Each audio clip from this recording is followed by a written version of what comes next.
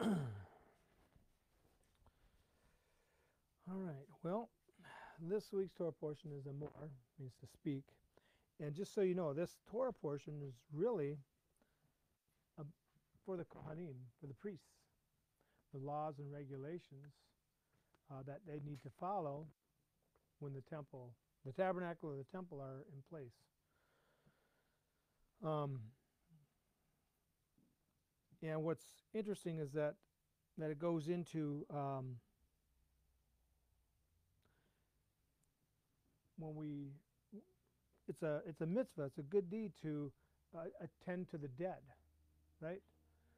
But god gives a different application here for his priests. Um, he is not to make himself unclean for any of his people who dies okay? Not to but he make god does make an exception for the regular kohanim except for his close relatives, his mother, father, son, daughter, and brother. He may also make himself unclean for his virgin sister who is never married and is therefore dependent on him. Okay? Those are the people he can make himself unclean for, right? Um, and the reason is, is because God is holy, God is life. And when we are around death, that causes us to be impure. And so the Kohanim, even though he can make himself impure for his those family members, he cannot do so for others. Okay, so a Kohen isn't going to uh, perform a uh, um, um, funeral. Thank you. I don't know why I had it there. Uh, a funeral. Okay, not like a a rabbi who's not a Kohen or a pastor or somebody like that, right? Or a Catholic priest. You know, they they'll they they will attend to the to that part of it. But a Kohen can't be unless it's one of those stipulations there. Not that they're going to perform the service either, but they will be be there to mourn their family. And what's interesting too is that in Judaism, even to this day, um, in Israel, you see that that when a person dies, they're buried the same day. Now, here in America, you know, a lot of funerals that you know of, they, they might not be for a week or two weeks or three weeks on the road.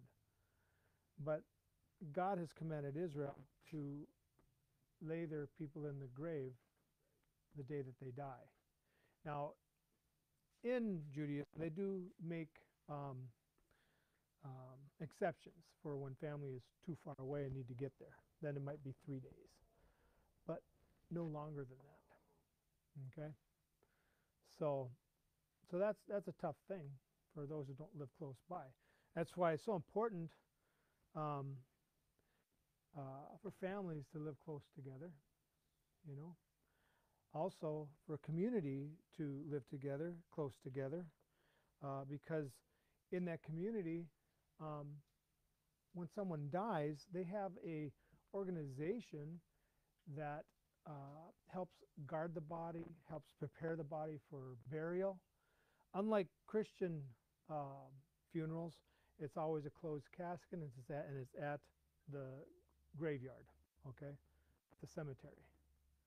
Um, and the idea is that we're forgetting them or anything like that. It's that we need to realize that, that this person is gone now from us. We just need to remember the good times that they had. But to view the dead body is to become more contaminated, in essence. And I know I've heard other people talk about touching the dead bodies and incurring uh, curses or evil spirits. Okay? Um, I've heard that from uh, teachers in the past, Christian teachers about that. But in essence, it's kind of like the same thing, is that you incur impurity. Okay? Um, that's one of the reasons why we bury them as soon as we can. We have a, we have a service for them. See, like now in Israel, um, they don't use caskets. They wrap them in white material, okay? And in some instances for soldiers and stuff, uh, they have the Israeli flag that they drape on them. Um, but they're buried without a casket in the ground.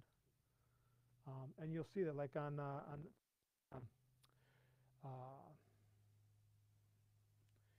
uh, east side of the walls of Jerusalem, it's a big cemetery there, and you see these boxes, and they go on almost like forever it seems. Um, a lot of people. That's a, that is a uh, uh, premium to be able to be buried there because it's following the uh, the teaching that when the Messiah comes, he's going to come to that eastern gate, and that he's going to step foot there, and all the dead there are going to rise and enter into the kingdom. That's one of the ideas they have there. Um, but for the Kohanim, who has the anointing God, of God on them, right? They can't do those same things that everybody else be able to mourn in a different way.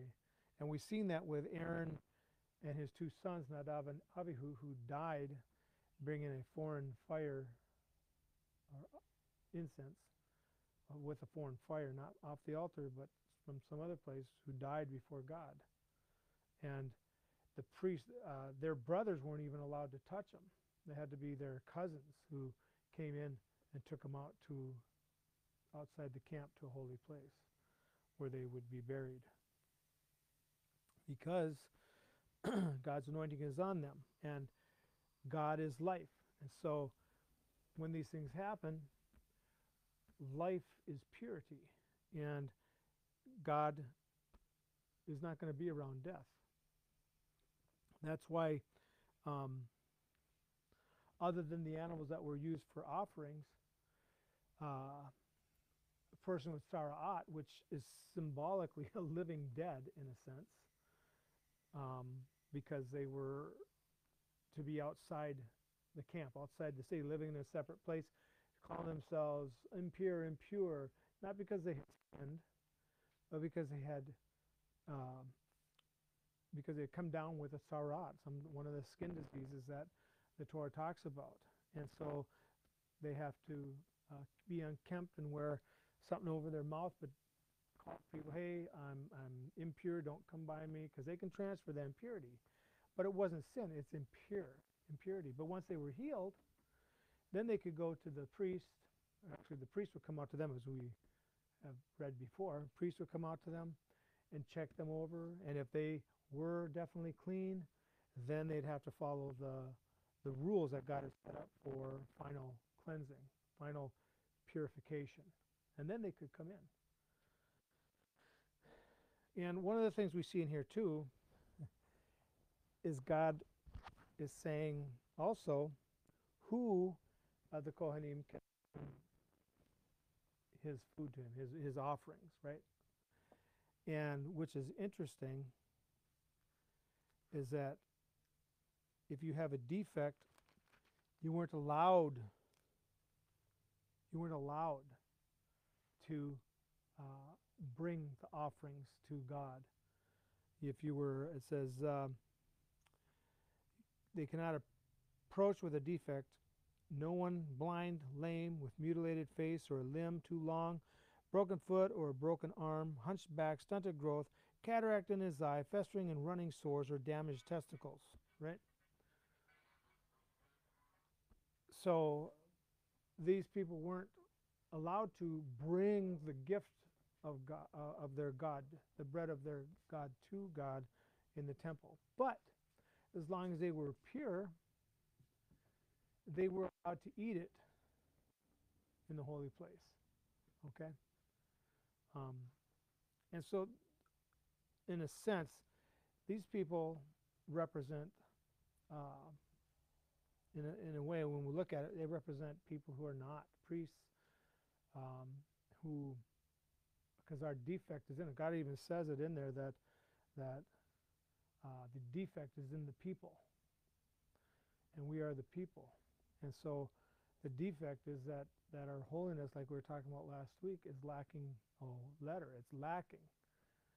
But through Yeshua, who is the high priest of the heavenly temple, brings us into that holiness to allow us to eat with our God, eat the bread of our God, right? Not that we can bring an, bring it to Him. Yeshua is our mediator; He brings it for us. But we get to, as long as we're pure in that sense, then we are able to uh, partake in the food that God provides for us. It's another reason why um, why God commanded us that when we've eaten our fill, then to give thanks to God.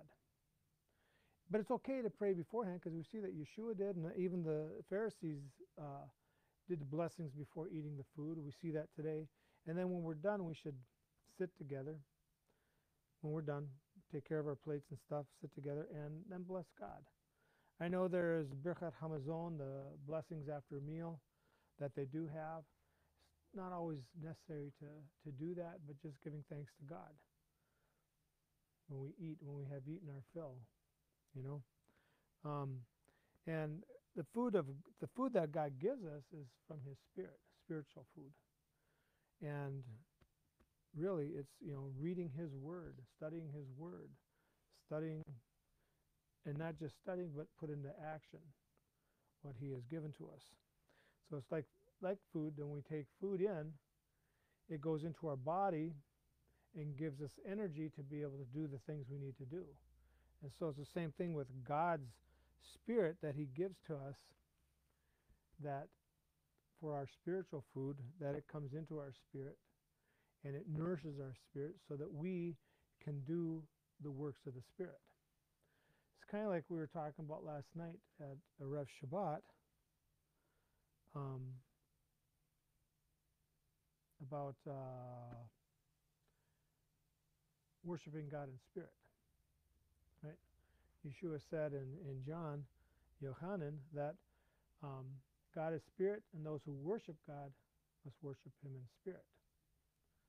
And so when we do the prayers and blessings it's not something we're doing because we have to do or because it's tradition or everybody else is doing it. It's because we want to do this for God so that we remember the goodnesses, the great things He has done for us and is doing for us, right? We do these things to remind ourselves. He doesn't need our prayers. He doesn't need our blessings, our food, or anything like that. It's like even in one of the um, blessings in the Birkat Hamazon, it says that, that he gives us food to enjoy and to give thanks to him. Okay? And so that's what I was getting at last night too about making sure that you know we pray. We've you know, you know we know there's three times a day that that uh, they have opportunities to pray, three three different prayer times during the day, but we don't have you know we can pray any time. And when we pray, it's like it's like talking to your friend, to your best friend next to you, right?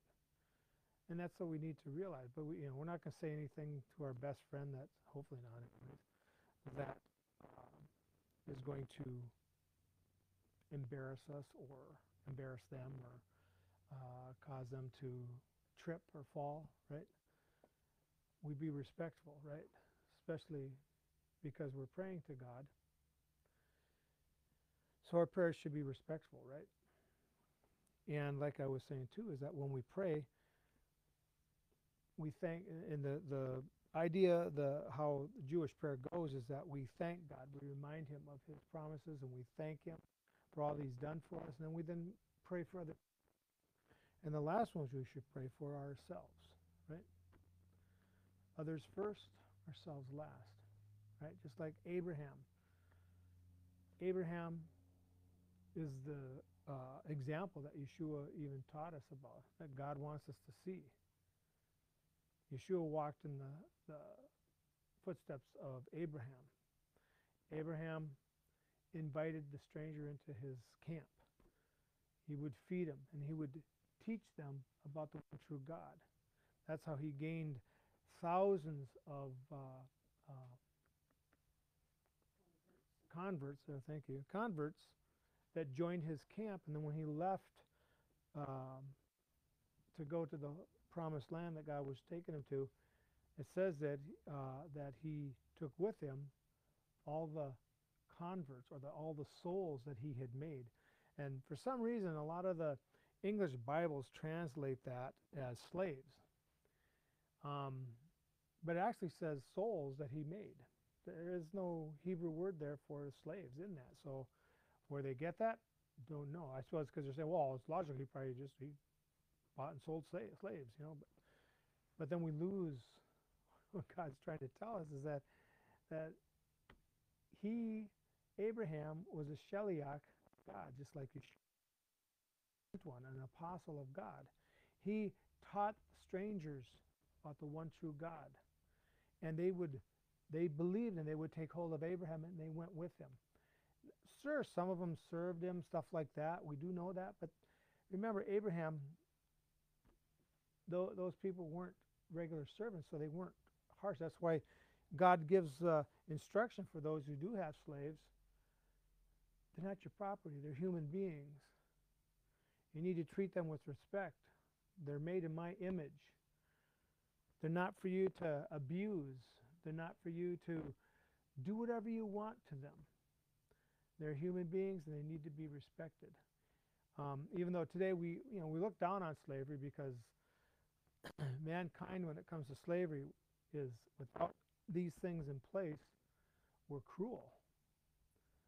cruel. Even and we see that even today, like in the Islamic world, with their slaves. Yes, they have slaves today. Their largest group of slaves they have come from Africa, and yet the States is blamed for its past. Well, yeah, I agree. You know, it's something we it's a black mark on our country, but we did do something about it. But nobody talks about the African slaves that are in the Islamic countries still slaves or the unbelievers, the infidels that they gather uh, to be slaves in those countries. And they are treated horribly, even the women. You know, the women in Islam are considered less than uh, a camel. And so they treat them very poorly. But yet, because of the, what they call that syndrome, the women are in basic captives, huh? Stockholm. Stockholm syndrome. Uh, that's been going on for generations there. That's why uh, they don't they don't see anything wrong with it because they've been brought up in it. And if a woman does speak up against it, she doesn't survive very long. Yes. What about the the people that are like disappearing in China and uh, Russia? In China, how about the people who are missing in this country? Well, yeah. Uh, no, she's, she's just talking about the Uyghur. The Uyghur, yeah, but we also have that thing going on in our country too. Yes, the Chinese are doing horrible things to to to the the Uyghurs who are Muslim, which no, it, it shouldn't be going on. But like I said, human beings do these cruel things to each other. Um, human trafficking, which is a big problem. It's not just a huge problem here, it's a huge problem in the whole world. They're, they're most likely slave traders, sex slave traders in particular, slave traders nonetheless, no different than the ones that brought slaves to America. And to be honest, they're kidnapped, right? And so the Torah even teaches us that, that a kidnapper should be put to death. Whether the person is still with them or they've sold them someplace. The kidnapper, or in this case the trafficker, should get the death penalty, not live in uh, luxury at, at uh, prison and stuff, but they should be, that should be an automatic thing. I mean, I don't necessarily believe in the death penalty because so many people have, been a lot of people who have uh, died innocently who were innocent because of uh, corruption and stuff like that. But when it comes out, no doubt that these people are slave uh, uh, slave traders, uh, abductors of girls, even boys. Um, they should get the death penalty. I know people talk about pedophiles. Well, uh, okay, pedophiles and stuff, but I think it's worse. I mean, yeah, I think it's bad. Believe me, that what they do too. But it's worse kidnapping somebody and selling it into the sex trade because usually they're young girls, young kids, and that's just as bad. Huh? Yeah, Yep. Yes. Uh, something that is been going on for like a long time online and stuff is people currently right now too. Um, it's getting a lot worse. People are posting um, videos of their little children doing gymnastics or you know doing something that would otherwise be kind of innocent, but then they're putting background music that's very sexual, and people are saving those. How about videos. child?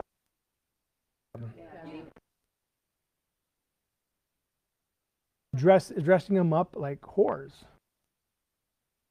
Look at that JonBenét Ramsey. The parents should go to jail for that. Yes. Uh, yesterday when we were in Target, we we we were walking by these clothes for little girls, and one of them it had like open sides. Yeah, huge Yep, part of I their know. shown on this dress Yeah. in Target. Yeah. Well, you got to realize Target is full of, uh, Don't Cor- Target. corruption. Target huh? Target is crap. A lot of ta- the products in Target are crap, anyways. But They- um, those dresses that we they saw were made for promote- yeah. Target promotes pedophilia in a big way. Pedophilia and the And also with that one uh, um, LGBTQ Yep. going on, where They they, pr- yeah they promote alternate lifestyles that are not biblical. And you got to be careful of that, you know. We got to be careful of that. That's why I really don't shop at Target and there's other places too. I like to shop at Lucan's Marketplace, Walmart, Aldi's is good. You know, they got a lot of good stuff and you can find a lot of kosher stuff too, which is good. But we have to watch out for our children. Anyways, all those type of things make a person impure, right? And the priest is called to a high standard. And that's the thing too about the Pharisees. You know, a lot of people complain about the Pharisees. They've been taught that the Pharisees were bad people, evil people. You know, the church teaches this stuff. But yet Yeshua was a Pharisee. He wouldn't have been invited to sit with the Pharisees if he wasn't. That's one thing. Um, the other thing is, is that he had no time or patience for the Sadducees. So, but he had no problem sitting and talking with Pharisees. Uh, we see that uh, Nicodemus and Joseph of Arimathea were both high-ranking Pharisees. Um, we see too after uh, Yeshua's death and resurrection and ascension that many of the Jewish people that were coming to faith were Pharisees, still Pharisees. Rav Shaul, Rabbi Paul, was a Pharisee. Proud that he was a Pharisee. Not necessarily all the things he did, but proud that he was a Pharisee. A Pharisee of Pharisees, he says. And the Pharisees, when we see this, we look at them. This is why I want to talk about this, is that in Babylon, we didn't have a temple, right? The temple was destroyed. And so the men of the Great Assembly help write the blessings and stuff that we have. And from that point on, they also took upon themselves, uh, just like the priests with immersion and purity laws, that's where those came into effect. To be like the, the, the, the priests, priests of our own home, because a husband, a father in his home is to be like a high priest in his home. And in so doing is where they came with, uh, other than from Psalm 24, is the washing of the hands before they eat. And the concept that if you don't wash your hands, then you know you could have touched something that's impure. You know, but of course, if you're if you did touch something impure, you're impure already. It wouldn't matter if you didn't wash your hands and ate something anyways, because you're already impure? But Yeshua takes it one step beyond that, and he says that that you know it doesn't matter if you wash your hands. It's not what goes into your body. Talking about food that uh, makes you unclean. It's not whether you wash your hands or do wash your hands that's going to make somebody pure or impure. It's what comes out of his mouth, out of his heart. Right? Um, so the washing of hands is a good thing to wash your hands before you eat, anyways. But that's talking about a uh, with soap and stuff like that, because you never, you know, you know, it might have some bacteria or something like that on there. You don't want to pass that on to yourself or anybody else. But also to just eat as if you're eating to God. That's why in the household here, um, our table is like the altar to God, right? And we're like the priests and the and uh, and the people of Israel, um, the Levites and the people of Israel. And when we sit down at the table, it's not a time you know sit down to eat at the table together as a family and stuff. Like what I was saying last night is a lot of families don't do this anymore. They have all the gaming equipment and computer games, stuff like that, and they just grab food and go sit in there and eat. They don't even eat as a family anymore, which is lost. But in our household, I know that happens, but on Friday nights, we eat together as a family at the table and sanctify it, set it apart for God, and set apart the Sabbath for God. And we eat together. We'll eat together here for lunch and so forth. Um, and there's times that we do get together and have a meal together at the table too. But primarily, always do it Friday night because that is important. It's different from the rest of the week because the Sabbath is different. And that's why we need to do that. Why uh, it's good to understand uh, these rules that God came up for the Kohanim, for the priests, right? Are we priests? Well, I mean, there might be some of us that are. But the idea was not to be impure. That's why the Pharisees did what they did because they did they wanted to make sure that they were that they were pure for God, that they could do God's service, teaching, whatever it might be. And the Pharisees were if anything the people of Israel loved the Pharisees because they were like their their own people. They would uh, take care they they helped feed the poor, help clothe the poor. They helped the people with so many different things the Sadducees didn't. Sadducees, the people considered the, the Sadducees to be uh, kind of what people think about the rich people today. Snoots just in for themselves and and power grabbing, huh? Arrogant. Arrogant, yeah, exactly. But the Pharisees weren't. They were a person's person. They helped the poor and whatever else needed to be done. And that's why even Yeshua says that that unless our righteousness exceeds that of the Pharisees and the scribes, he wasn't putting them down. I know people look at it, oh, they're putting them down. No. What are they that they are doing that makes them righteous, but are righteous? He didn't say they weren't righteous. He said, unless we um, do more than what the Pharisees do, you know, we're not going to make it into the kingdom of heaven. We're not going to become righteous.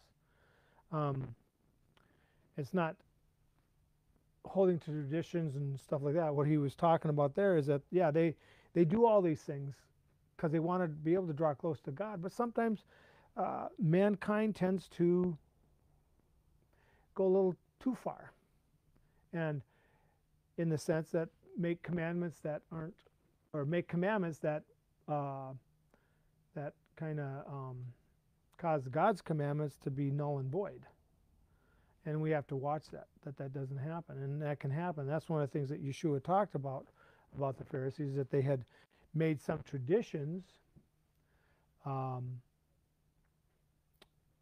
causing god's original instructions to be null and void they went beyond what god was asking he said it's okay but don't put it above god's command he said he said you know you tithe your cumin and your mint and stuff and and that's all good but God didn't say you had to do that. You can do it, but don't put it above what God said to already tithe. Right? Don't think of it as sin. What's that? Or in place of. Thank you. Okay? And we as priests, we as followers of Yeshua, um, just as Yeshua, who is, is the priest of heaven, as Hebrews shows, he's not the not a priest here. God already has a priesthood set up here on earth. So Yeshua could never go into the temple and offer sacrifices or go into the Holy of Holies. God would not allow that because God has priests for the earth. Yeshua is the priest of the heavenly. His priesthood will come during the time um, of the Messianic era, but even more so in the world to come when the New Jerusalem, the new temple, is brought down. Uh, in essence, the king and the prince. That's why even when we take a look at things, why the Hasmoneans were the book of Maccabees and stuff weren't included in the regular canonization of the the Tanakh is because they were priests, but they made themselves kings. That's why I was a Josiah went up and offered in place of the priest because he was impatient and he got leprosy, right? He was a good man, a godly man, but he got impatient waiting for the priests to do their job, and so he went and did it, and God said, No, you can't do that. There's only one that king and priest, that's Yeshua.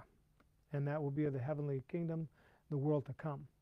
That's why even in the in the messianic age, he's not going to do the sacrifice and stuff like that. People get that confused. It says that he will bring them. He is going to supply the sacrifices for the people. Uh, When we do the, the national offerings and stuff like that, I mean, we'll still be bringing our own offerings however we want to do, but he will bring the offerings for the for the nation and for the nations. That's why it says also that that um, those nations that survive when Yeshua comes back and sets up his kingdom, battle, good and evil. Of course, Yeshua is going to win, and those nations that survive will go to Sukkot and bring with them an offering. But it also talks about him that he will, he is the prince. Why? Because he's the son of the king. So of course he's the prince, and the prince will bring the offerings for the for the Israel and for the nations. But there will be a high priest that God has already selected that will, and the other priests that are with him that will do the work of his offerings. It's not until the heaven comes down in the world to come after the Messianic era that the sacrifices there will be no need for them. But there will be a temple where we can go and draw close to God. Uh, of course, God will be everywhere because there won't be a need for a sun and a moon and stuff like that because God will be light, right? And in that day is when the new covenant will come into its fullness because it says that then no one will need to be taught about God because everybody will know. His Torah will be in our hearts and on our minds. And that's what we get to look forward to. And that's why he gave us all these um, festivals. And the festival reading here, we've read it before. Um, and we'll read it again about the festivals. But these are jobs that the Kohanim are supposed to be doing. He's, he's telling us these things because it is for us too, but it's for the Kohanim how they are going to um, uh, perform their duties on these festivals. And we get into an even more uh, description later. I think it's in Deuteronomy. Talk about for Sukkot goes through the uh, seven days and the eighth day. And that's what we need to look at too. Is that Sukkot was a festival for the nations. There were a total of 70 oxen during the first seven days that were offered up to God on behalf of the nations. Why? Because 70 is the number for the nations. Okay? But on the eighth day, new beginnings, right? One ox. Why? Because we're all one people. Right? We're all united together. There's no need for the other nations, the other offerings. Eighth day is new beginnings. Shemini Atzeret. Okay? So when we understand this stuff, um, these are what God has want, has wanted the priests, the Kohanim, to do. It's His uh, instructions for them to be pure and be able to perform His duties. Okay. He's not saying we can't do the same thing, other than we can't bring offerings and stuff like that, but we can live those same things just as they do. Uh, and that's an interesting thing too, which I always laugh when I see people picture the high priest with his long beard and stuff, long hair even, and that's not right because it says in here one of the instructions is to keep yourself groomed, short hair, short beard. Because if you're offering offerings, you got this long beard. That's why he had them tie the Urim and Thummim up so that it wouldn't fall down into the sacrifice and get bloody and stuff like that, right? Or swing out. That's the same thing for the beard. So it doesn't get blood and stuff of the sacrifice on it, and you carry it to a place that's not holy on accident. You don't know it, right?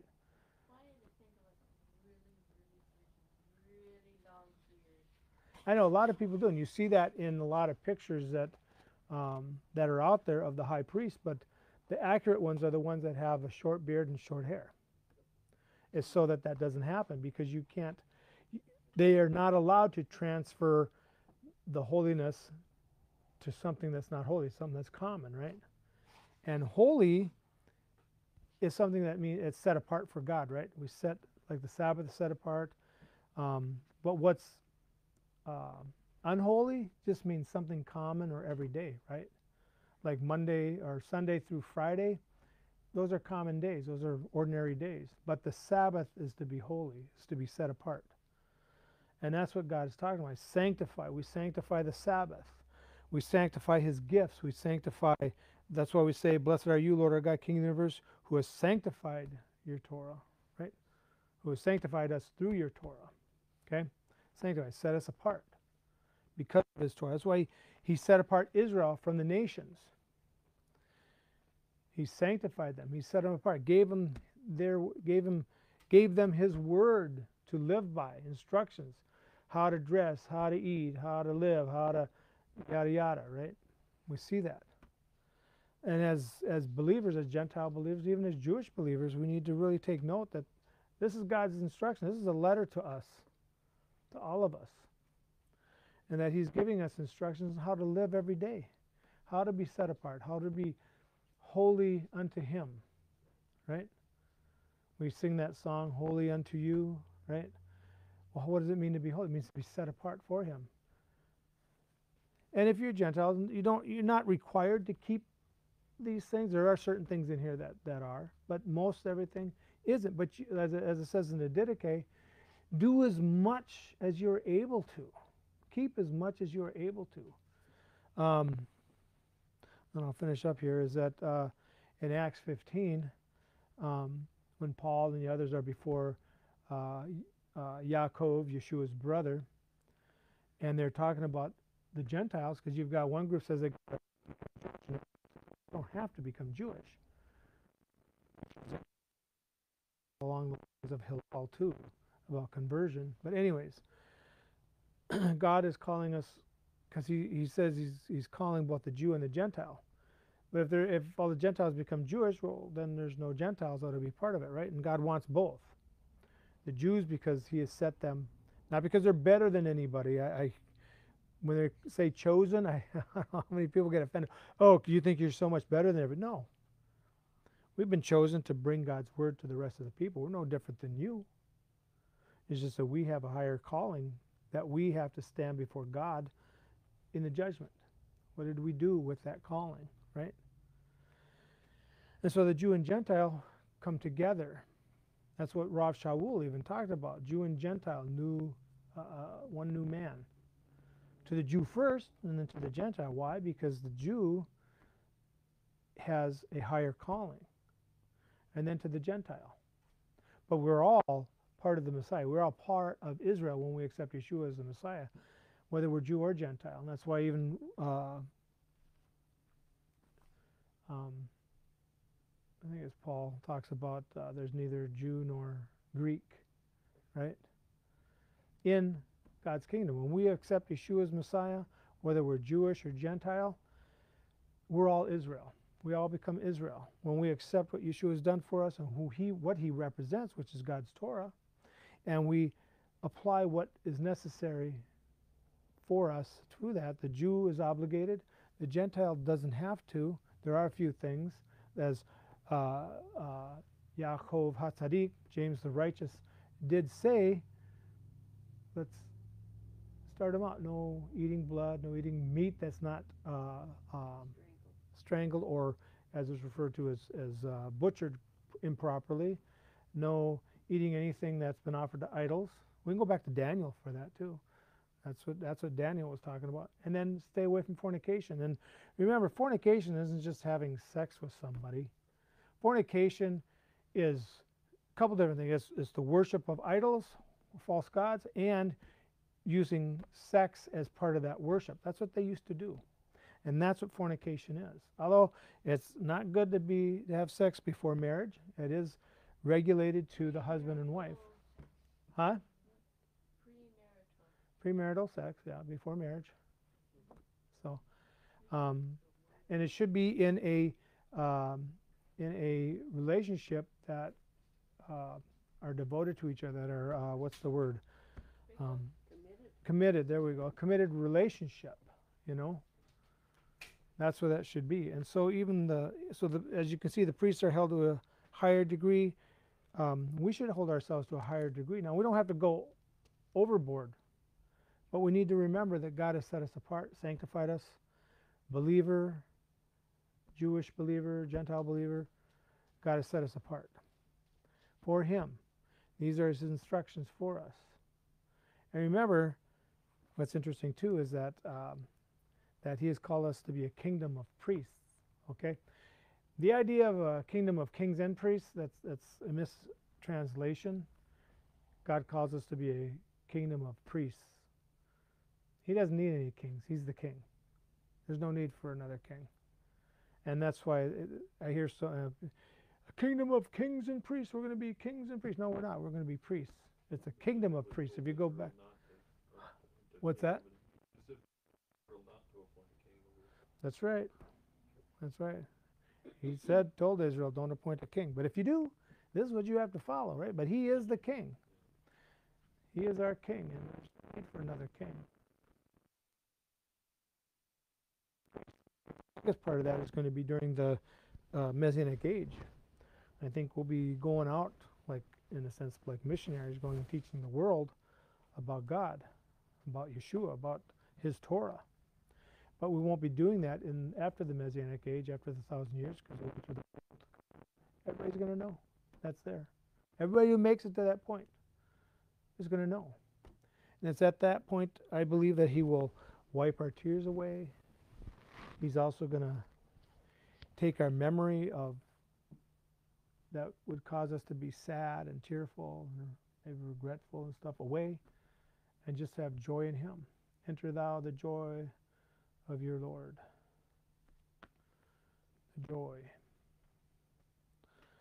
So that's what I have with that, and it's just something that we just need to really look at. And of course, the festivals is another thing that sets us apart because they're all pictures of God's plan of redemption. And he needed a people, and that's why Abraham was chosen because Abraham knew God. He loved God. He was he says that Abraham was God's friend.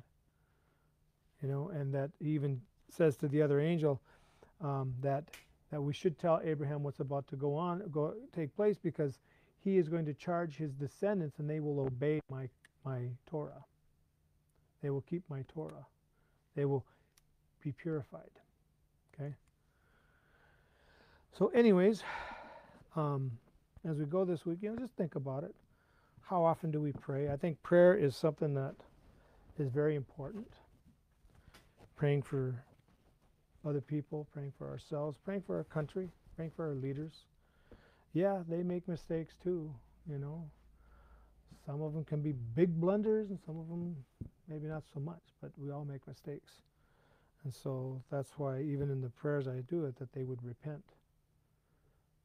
They would repent, not something evil come upon them or that's not for me. You know, we're not to judge other other people in that way of whether they are saved or not or if they're going to hell. That's none of your business.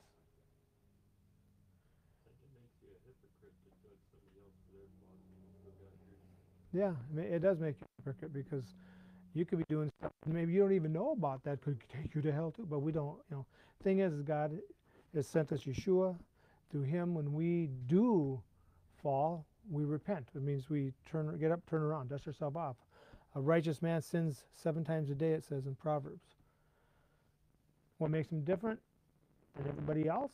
What makes him is that he gets up, seeks forgiveness, repentance, and turns back to God keeps walking with him and that's what we need to do. do the best we can i mean none of us are perfect but we do the best we can because that's what god calls us to do walk in his way best we can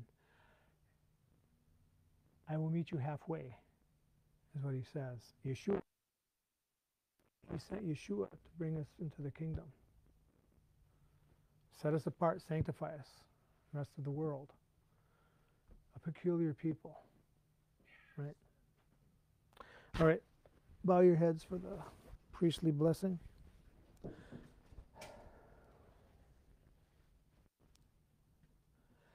Our God and God of our fathers, bless us with the threefold blessing in the Torah written by the hand of Moses, your servant, pronounced by Aaron and his sons, the priests, your holy people, as it is said. May the Lord bless you and protect you. Maybe you will. May the Lord make his face shine on you and be gracious to you. Maybe you will. May the Lord turn his face toward you and grant you peace. Maybe you will.